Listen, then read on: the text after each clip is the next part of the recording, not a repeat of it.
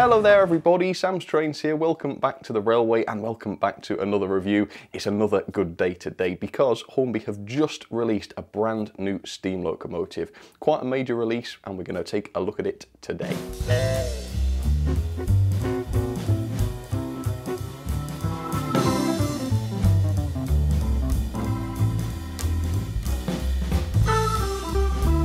Today's locomotive literally arrived in the post just yesterday and I've been able to hold off looking at it until now so I am incredibly excited. That's probably quite unprofessional but I can't help it, it's the way I feel. So the locomotive is this, it is the brand new Hornby Thompson Class A2 2 and in real life at least these locomotives were very controversial. They represent a great interference from Edward Thompson onto the design by Sir Nigel Gresley because these locomotives used to be the beautiful P2s until Edward Thompson came along and rebuilt them into these. And from some angles, these look absolutely fine, but look at the positioning of the cylinders there. I think that is the major bugbear for most people. I hate to say this, uh, there's no reflection of Hornby, but from some angles, these locos are pretty hideous, aren't they? Um, you don't have to agree with that, but yeah, as soon as I noticed those cylinders there, I, I do have that opinion. Anyway, I'm hoping the locomotive will be fantastic though. It sure should be because it has an RRP of £189.99 and I paid £171 from Hattons. And if I can get an affiliate link in time, I will post that in the description so you can see the other versions of this class made available. So obviously that is an unreal amount of money. That is very, very, in fact, I can't believe I have spent that on this locomotive. But as I often say, an incredibly high price commands an incredibly impressive model. And therefore my expectations are really, really high for this locomotive. As should be clear, there's no room for sloppy quality here. There's no room for poor performance. And so therefore this locomotive should be excellent and I'm hoping to really enjoy it. I'm also hoping for some diecast, at least a diecast running plate on this. And I think I have reason to hope for that actually because obviously recently Hornby announced an upgraded A1 and A3 locomotive which does have the diecast running plate which obviously suggests that Hornby see the value in that feature and therefore are they really going to release a brand new expensive locomotive without that feature? I hope not. Uh, for the price I sincerely hope not. So come with me today we're going to find out exactly what this really interesting and unusual locomotive is like and figure out together whether or not this is worth the money. Should be fun. Let's give give it a try. And even though these are not the nicest looking locomotives in the world, I'm still so glad that Hornby decided to produce these because I've always found them fascinating. The idea that a locomotive like the P2 can be completely transformed into a locomotive that looks absolutely nothing like it is fascinating as far as I'm concerned.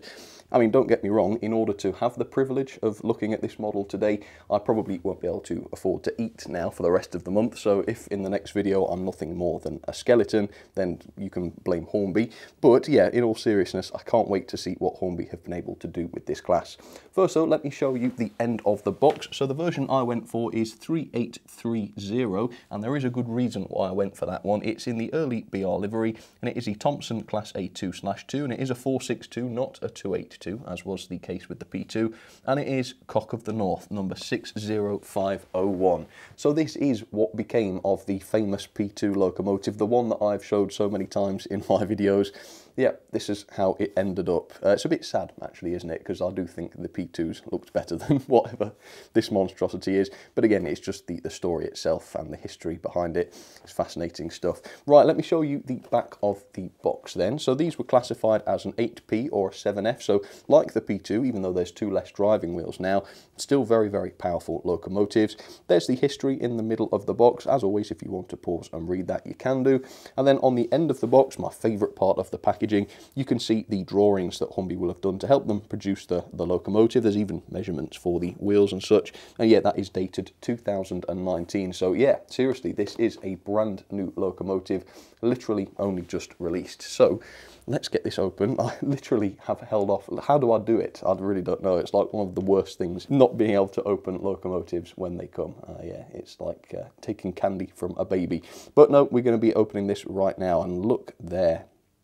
That looks really, really smart. There's something about the wheels on this that looks really good. I don't know how to pinpoint that. Maybe that will become more obvious when, when we get this out. Maybe it won't. Maybe that's just me rambling like a madman.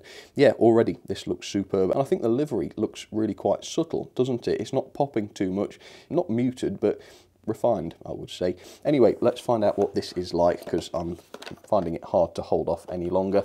Let's have a look at the operating and maintenance instructions first of all. So here it is, the A2 slash 2 and the A2 slash 3. So obviously they must have the same or at least similar chassis. On the inside, let's have a look at this for the first time. So lubrication, yeah, it's all these standard lubrication points.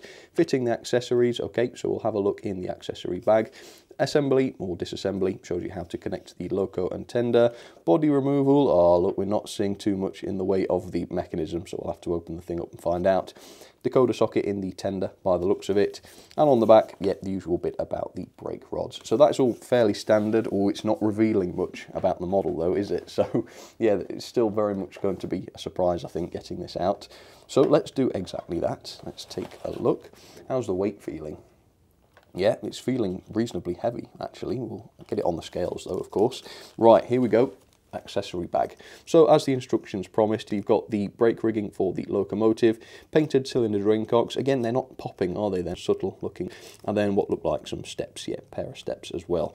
One glaring omission here is the rear pony axle with the flanges on it, meaning that you're just stuck with the flangeless version on this model. I think given how expensive this was, it wouldn't have killed them to include that alternative axle, would it? I really hope there aren't any more omissions from this model, given just how expensive it was.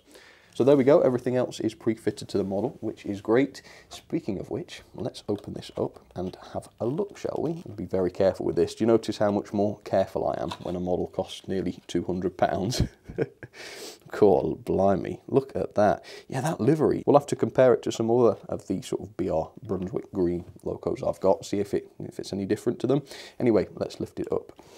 Wow, so, I mean, yeah, it might be an ugly locomotive, prototypically speaking, but this thing looks fantastic. It's nicely put together. Unfortunately, the running plate, the foot plate, is just plastic on this. You can tell just by touching it. That is crazy for the price tag, quite frankly. At that price, I would want every possible feature and more besides in order for this to be worth it, so I suppose that's a little bit disappointing. But no, in terms of the level of detail, this thing looks really, really impressive. I'm quite excited now to explore this one and see what Hornby have done with it. First though, let's have a little bit of history on the prototype and then we'll take a close look at some of the details. Here we go. So the Thompson Class A2, not to be confused with the Peppercorn A2, which I have done in the past, so yeah, guilty, I'll hold my hands up there. This particular class was introduced in 1943. As I said, it was a rebuild of the earlier P2 class, designed of course by Sir Nigel Gresley, which incidentally made Thompson rather unpopular, to say the very least. Only six locomotives were rebuilt in total, and they featured a newly designed front bogie, a shortened boiler, divided drive, which means you've got more than one axle uh, driven by the cylinders. I think it's two axles in this case. Uh, it has the original connecting rods though, and of course in order to achieve that latter point, the outside cylinders had to be placed behind the bogie, giving the class that unbalanced and some would say hideous, in fact I would probably say that as well, appearance. The design was reportedly not terribly successful, which is pretty embarrassing for Thompson actually, given the fact that he felt it necessary to ruin such a beautiful class such as the P2s. Yet they were prone to excessive wheel slip apparently, reliability issues caused by frame movement which caused components to work themselves loose and stuff, and as a result the class was up for early withdrawal from 1959 onwards with none preserved. So it's a sad end really to what was in the beginning a really beautiful class of steam locomotives. Okay, so there it is, the brand new Hornby Thompson Class A2 slash 2 up close and personal for you. I don't know. I really don't know, folks. It's all right. I will say it's all right. It's by no means a terrible model. It just goes back to what I said at the start. For over £170, this model needed to be packed with incredible features and it needed to be truly high quality in order for that price to be justified. And the sad truth is that, in my opinion, it just isn't. It's just a number of smallish things which add together to make the model a bit more mediocre than I perhaps expected it to be. So we'll start with the obvious one and that is of course the lack of die-cast footplate.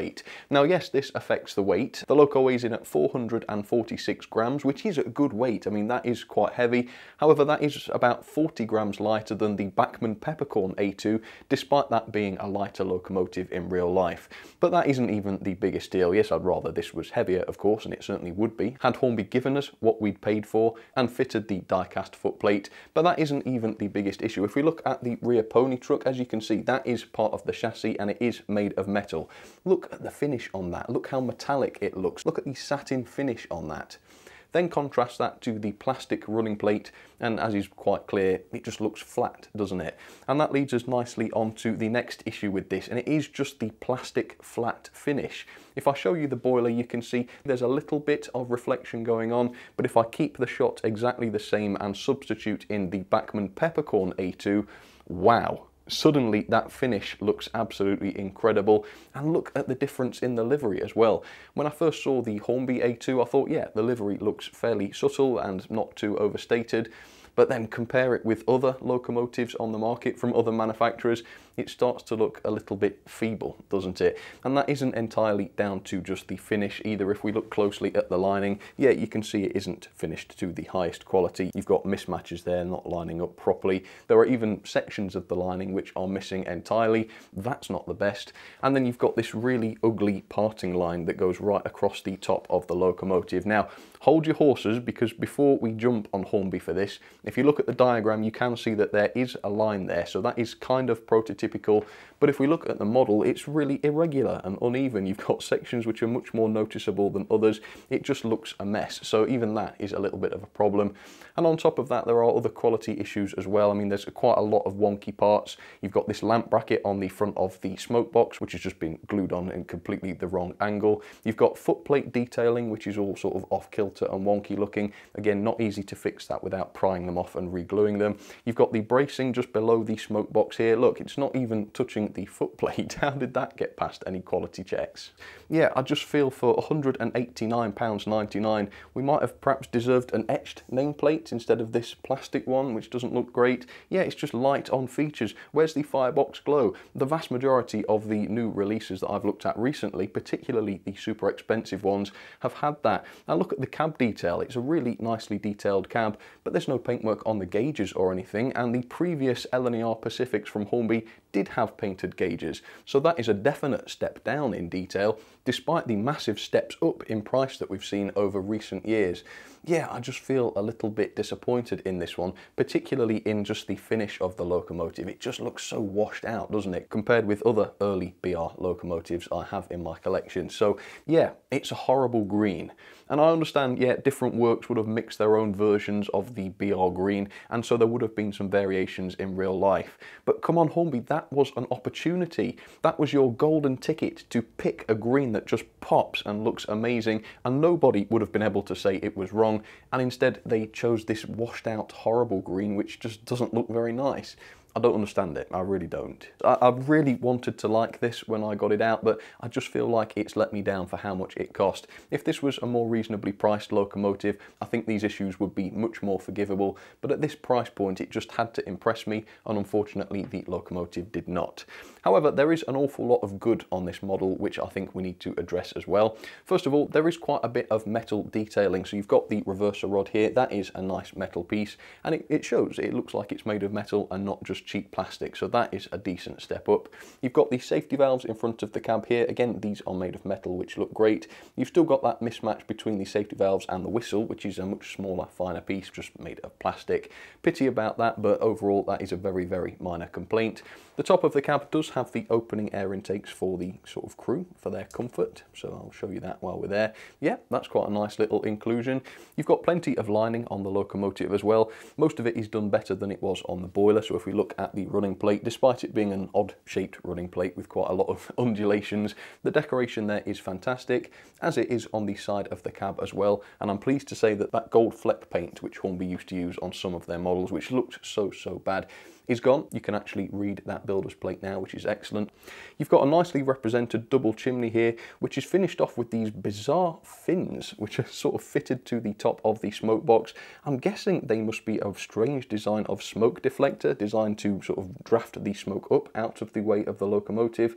That's a very, very unusual design. I don't think I've seen that on any other locomotive I've reviewed before, so that's really interesting.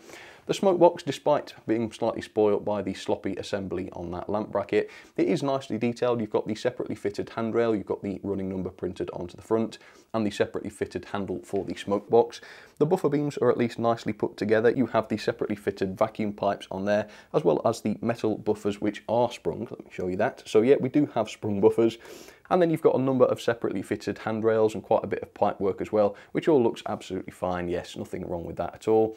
The cab is nicely finished with flush glazing. Yeah, that's all right. It's all nicely fitted. You've got pre-fitted cab doors, which is good. And then what looks like a moving tender foreplate. This one is not just fixed in an unrealistic position. You can actually pose this if you like. Again, it's not been painted properly. You can see where the base material colour is showing through. But overall, yeah, that's a nice feature. And as I've said, the cab detail is all right. I will show you that again. You can see some of the various components picked out there. Not as good as from Hornby in the past though, which is again puzzling and disappointing given the price. Let's take a look at the wheel set. Again, you've got these nicely moulded wheels, which are realistic right down to the axles, which is great. And again, very fine coupling and connecting rods, as you'd always expect from Hornby. They look absolutely fine, and I can't wait to see those up and running actually. And then you've got this whole front bogie area, which because of the placement of the cylinders, is quite exposed. You can see a lot of the chassis there, and so it's a good job that they have put the rivet details on there. And it's die-cast as well, so you've got that nice metallic finish to it. Let's take a look at the tender then. I mean, it's the same story really. The decoration is about the same as you'd expect. Nicely applied early British Railways crest. That looks pretty decent. You've got the standard sort of underframe detailing. We've seen similar tenders to this before, but it does look pretty decent with the brake rigging fitted, as you can see. Nice, realistic and fine scale coal fitted inside the bunker there, and that is removable, so if it isn't to your cup of tea, even though it looks really realistic, you can of course remove it and fit your own if you wish. And then around the back, the tender is adorned with more separately fitted handrails, steps, lamp brackets, vacuum pipes, more sprung buffers, and of course the separately fitted NEM Slim tension lock coupling. And that is the only coupling supplied with the locomotive. There was no extra coupling to fit to the front if you wanted to do that, so there's just no way of doing that as far as I'm aware. And there were also no screw link couplings included in the accessories bag as well, which again just goes back to what I was saying about this being a little bit light on features. So yeah, it's a fairly mediocre model. I think if this was, say, if this had have cost me £20 less, I'd be able to understand some of the cost saving features such as the plastic running plate and slightly careless assembly, but at this price point, unfortunately, that is not the case. Anyway, we'll take a look at the mechanism. Fingers crossed this is good because that could be the saving grace for this locomotive. Then we'll get it down onto the track and give it its first ever test. Please do keep those fingers crossed. So there it is then, down onto the track, the A2 slash 2. Yeah, I would say it's looking decent, it's just that colour. I can't get over that colour. If anything, it looks even worse and more unnatural under my sort of house lights yeah, I don't know about that. And again, I want to apologise if I seem like I'm at all vexed or grumpy in this video. The fact is these videos shouldn't be too personal, but at the end of the day, I bought this model, it was my money, I was really looking forward to it, and when you feel that disappointment because the product isn't what you'd hoped it would be, you just can't help but take that personally. But I'll, I'll try not to be too sort of grumpy about this. Overall though, the mechanism itself is actually really, really decent. I did find a couple of glaring omissions which are a little bit puzzling, and one potentially much more serious issue which has got me a little bit nervous. But we'll start positive first of all. So all of the Loco driving wheels have pickups fitted to them as you can see, as well as the tender pickups, so connection to the track should be absolutely fine. Removing the base keeper plate reveals that we do have proper turned metal bearings fitted to the driving axles, which is fantastic. You've got a single driven axle in the middle, so that should be nice and even. And at the back, you've got those spring-loaded electrical contacts, which makes the base keeper plate removal really, really easy. The body removal was quite easy as well, just two screws, and you've got the chassis there, which is made of metal, nice die-cast chassis. There is the 5-pole skew-wound motor, which is very good. Notice there are no LEDs at the back of the chassis there, so we don't have any firebox glow. Again, for the price, that is an unfortunate omission. And another glaring omission is the lack of flywheel as well. Why not? This is such a huge locomotive. Are you telling me you could not find a way to fit a flywheel inside this locomotive, given how much it cost? I really don't know. Anyway, the serious issue I found was with the gauging. And the issue comes from the fact that the tyres are not actually fitted perfectly flush with the plastic wheels. So you've got the wheels which are gauged a little bit tight, I think around 14.7 millimeters around there, but then the tyres make the gauging even tighter so that they range between 14.7 millimeters and 14.9 millimeters, which means on average the back-to-back -back gauge is 0.4 millimeters too tight. That is quite a lot, that is more than I normally see on these locomotives. The front-to-back gauge isn't as bad, it's only 0.2 millimeters too tight as a result of the flanges being quite slim, which is the saving grace. Overall though, yeah, the mechanism seems alright, I just really hope that gauging issue doesn't cause problems around the curves, because that is a little bit on the tight side. Anyway, enough about that. Let me set this to forwards, and let's give it a little power. It hasn't been run in yet, so this might not be its best.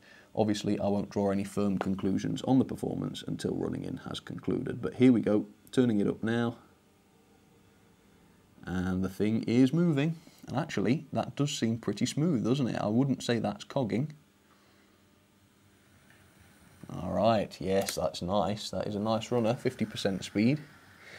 All right, so maybe you get away with that then, Hornby, because that motor seems to be running really, really nicely to say that's not yet been running. Pity about the lack of flywheel though, because if you've got any interruptions to the power, which is admittedly unlikely, uh, you will see a, a real dead stop like that as opposed to the flywheel taking over for a second or two until power is restored. So you could start to see sort of jerky running uh, if your track is dirty or if the wheels become dirty. But then again, the number of pickups makes that fairly unlikely. So yeah, it's not a huge issue. Oh, I tell you what, overall I am a bit disappointed with this, but that smooth running is really, really breathtaking, isn't it? Not so good in reverse, perhaps a little bit um, inconsistent in reverse, but when I did that forwards, look at that. Finally, we're starting to see some signs that this model is worth over £170. That is marvellous. Go on, let's go 50% up and down. It's not too fast up and down at 50% speed, as you can see. Yeah, it's actually really quite competently geared, which is great. Uh, let's try the crawl, let's zoom in. Go on then, this is the crawl out of the box. Yeah, it's all right that, isn't it? I suppose because the flywheel isn't fitted, there's probably a little bit less strain on the motor, there's a little bit less work for it to do, I suppose. Maybe that's why it's a bit more controllable. But this is better, much, much better than the other Hornby Pacifics I've reviewed recently. In fact, you haven't seen the reviews yet, but they are coming. They don't run as well as this, you'll see that. Yeah, okay, okay, performance looks great, or at least it does on straight track. How's it going to handle my curves? Ooh, that sounds a bit kinky. Come on then, let's go, let's find out. 40%. Okay, let's see, fingers crossed. Here they come, second radius curves. Wow, it didn't care. That has really impressed me because with gauging as tight as that, I'm expecting there to be some serious pinching around those second radius curves and the fact that the Loco doesn't slow down at all over them suggests that there is some serious torque in that mechanism. So I would guess that the motors in here are real, real quality. To run this well without a flywheel and with dodgy gauging, they've got to be some fantastic motors. So finally, there is one area of this model that has really, really impressed me. And I'm glad, because that's going to help the score a little bit, isn't it? Wow, great performer it seems, straight out of the box. Presumably it's only going to get better, so I'll see you in a little while after the running in has completed, and we'll experience this loco in peak working condition, hopefully. Alright, see you in a sec. Okay folks, there we go, running in has concluded and that was absolutely fine. It ran beautifully. I did hear the occasional click come out of it, but I've tried to isolate where it's coming from. It just doesn't happen when I'm looking for it. It's very rare. No, the performance overall is absolutely fantastic. Perfectly constant, really nice and quiet. For quite a large locomotive, this thing is very, very graceful and almost silent on the tracks. Yeah, really, really good performer. Right, let's see if the crawl is even better now. I mean, it was really good to start with. Maybe it could have been a little bit slower, so let's find out now. Here we go, I'm turning it up forwards. Core, blimey. Now to say that this is a large loco with a fair bit of weight on board and quite a lot in the way of valve gear and coupling rod and all of that stuff, that is really, really impressive, isn't it? Wow. And backwards as well. Fact, it's equally good backwards too. Let's go a bit quicker. Look how, look how even the motion is there. It doesn't fluctuate at all. It's almost completely constant. Look at that, all the way around. That is a great, great performer. I wish I could give it 5 plus on performance. Yeah, that's great. So the pulling power is okay. It's not particularly mighty, but it's not uh, sort of weak or anything. Uh, 0.45 newtons of tractive effort, that should be enough for this thing to haul around 27 coaches on straight and level track. And because these were such beefy locomotives in real life, I've given this quite a considerable train actually. I've given it eight coaches, and that will really test this up Gordon's Hill and around those curves. If there is any weakness in this model in terms of taking curves and gradients, I think testing with eight coaches ought to reveal it. So Let's go and find out. Let's set to reverse. Off we go. Let's see how the coupling goes.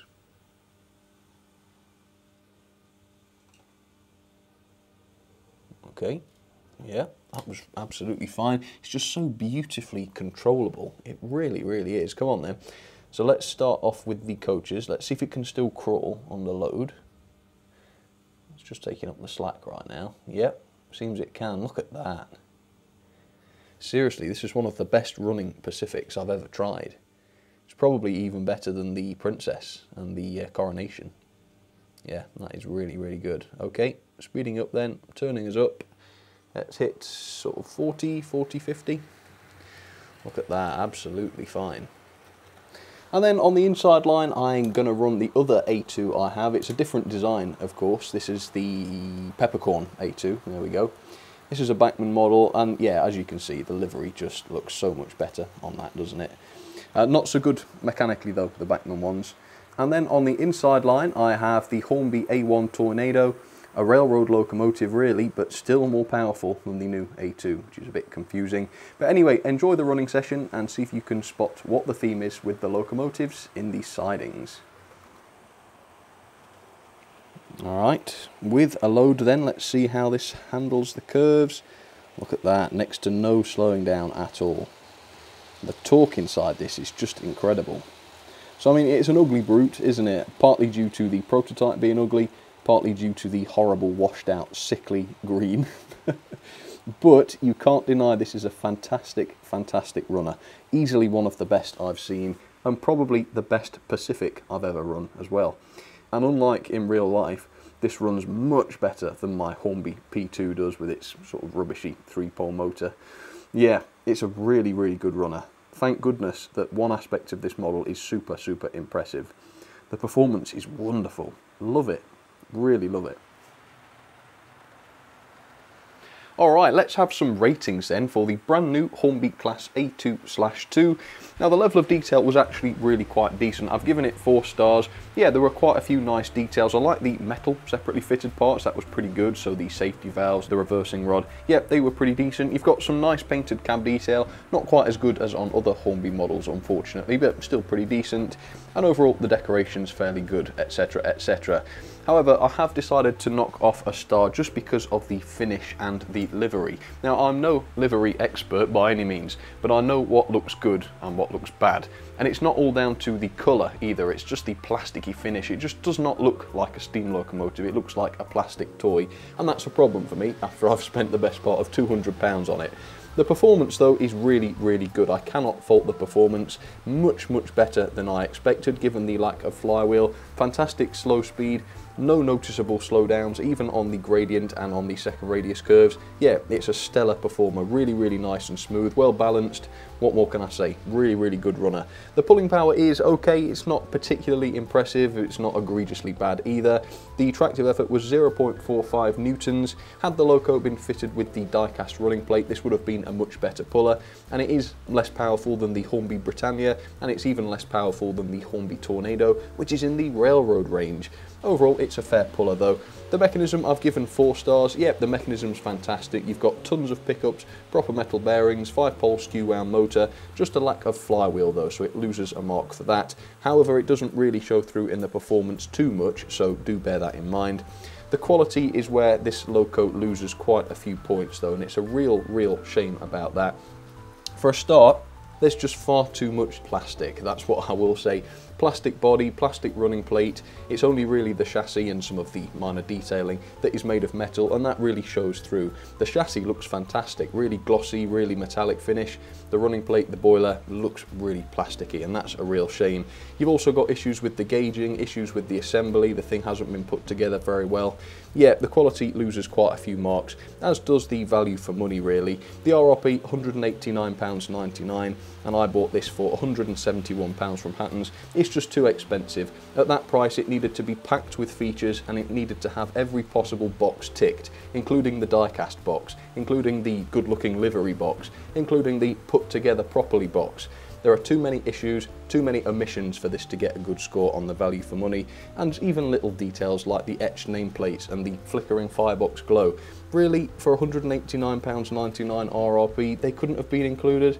No, I don't understand that. So that has pulled the overall score down, unfortunately, to 6.61 out of 10. Let's put that into the logbook then. There it is, fifth, just above the LMS 10,000 and below the Webb Coal tank. Overall, yeah, a little bit disappointing. Not a bad model by any means. It's very nicely detailed and it works perfectly. It's just not as good as it needed to be to justify that price tag. And I think when other manufacturers at the moment, even including Bachmann, have produced models at this kind of price point, they have been better.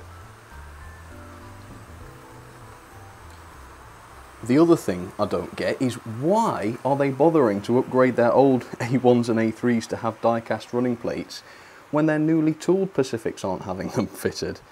That is just strange to me. I don't understand why they would do that. One area of this model that I haven't really covered is the accuracy. I've heard it said that this is a really faithful representation of the A2-2. Whether that's true or not, I'm not entirely sure. Obviously, that is well outside my area of expertise. But if you do believe the experts, this is supposed to be a really accurate locomotive, so bear that in mind. So I would say, yes, the model is probably very, very accurate, but if it's not built properly and it doesn't look right, then that doesn't really count for very much, does it? But sure, yeah, if all of the rivets are in the right place and such, great.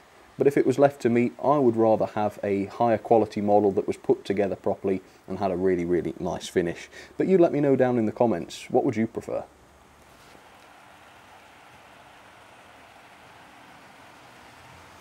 Yeah, I don't know. I didn't enjoy this as much as I hoped I would. I know that sounds dead miserable. But no, I was just so excited for it. It cost me so much. I was ready to be impressed. I was ready to be blown away. And at the end of the day, while aspects of the model are really impressive, the features, the quality, the finish, they're all basically in line with Hornby's much older LNER Pacifics from sort of 2006, 2007.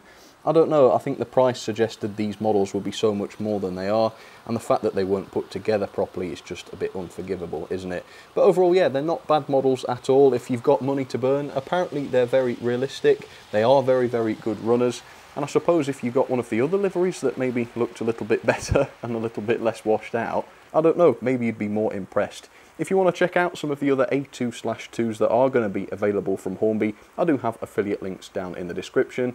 But there you go, that is my honest reaction to the new Hornby A2 slash 2. I'm not going to tell you to go out and buy one, and at the same time, I'm not going to say don't go out and buy one. I would just say look closely, ignore what I've said if you want to, look closely at the locomotive. I've given you lots and lots of close-ups and make your own decision. And let me know down in the comments what your thoughts are as well, of course. But for now, thank you very, very much for watching. Lots more new locomotives on the way this year, so hopefully some of them will be much, much better than this one was. But overall, yeah, it's fair enough. It's okay. I don't know if I regret. I suppose I do regret it a little bit. I think I could have spent 171 pounds in a much better way. But you know, you win some, you lose some. I've done this for enough years to know what I'm getting myself into. But thanks for watching, you take care, see you on the next one. Cheers folks.